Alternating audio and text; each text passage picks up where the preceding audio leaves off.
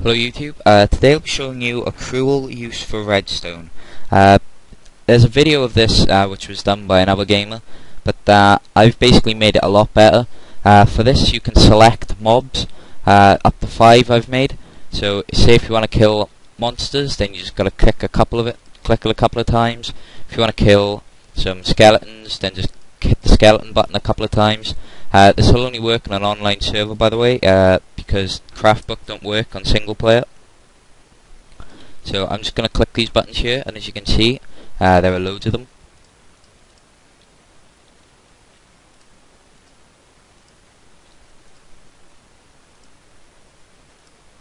So at the moment I'm spawning up to three or five uh, of these mobs. So here we go.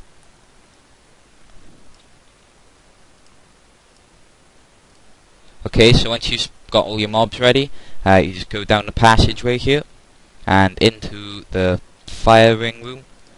So theoretically all our mobs should be in there and as you can see here's all the mobs which we hate. So how do you kill all these? Uh, see this button here? It's an ignite switch. Uh, in Craftbook when Netherrack and Redstone are combined uh, you can create fire so I'm just going to burn all these mobs and here we go.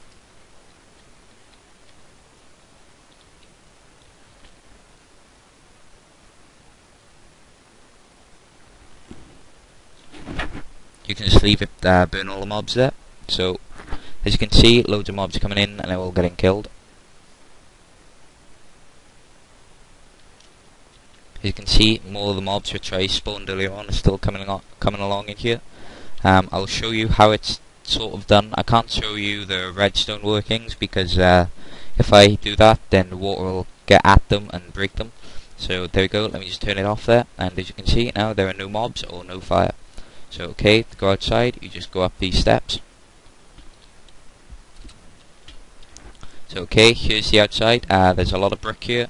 Uh, here's the furnace, if you like, uh, and the chimney. So here's where all the mobs get spawned. Underneath this, there are signs uh, with the MC1200 in the brackets for Craftbook, and underneath are the different mob types which I'm used to spawn. They spawn up on top of the water and they get pushed straight down into the water there. And if you just go on this you get taken into here. And the ignite switch goes onto the redstone which is under all of this. So and back out we go.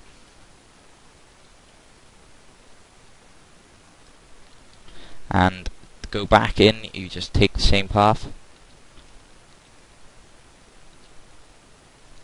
And let's go get a couple of different mobs. Um, for this, again another example, I'm just going to spawn some three monsters. So you click the button three times and three monsters will come out.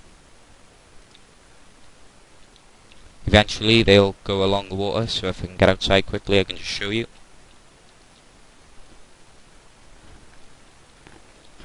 As you can see now, there are monsters, that one of them's already in the room. So if I just go back down there, There are three monsters here, and just ignite them. Uh, you can turn the ignite switch off, but uh, they'll still burn.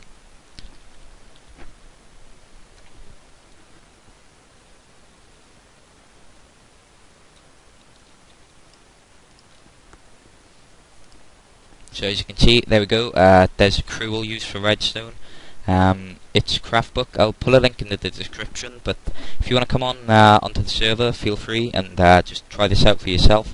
So thanks for watching. The cruel use for redstone.